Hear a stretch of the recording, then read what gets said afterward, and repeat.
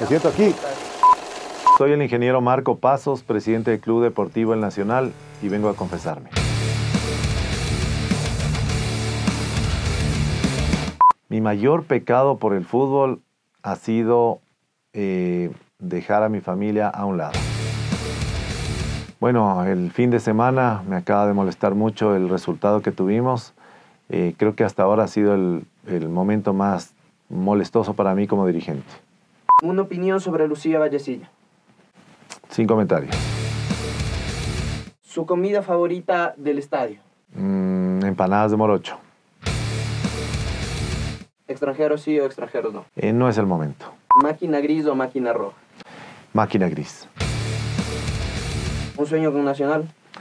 Eh, ser campeón del Ecuador, obtener la 14 y la 15 de una vez.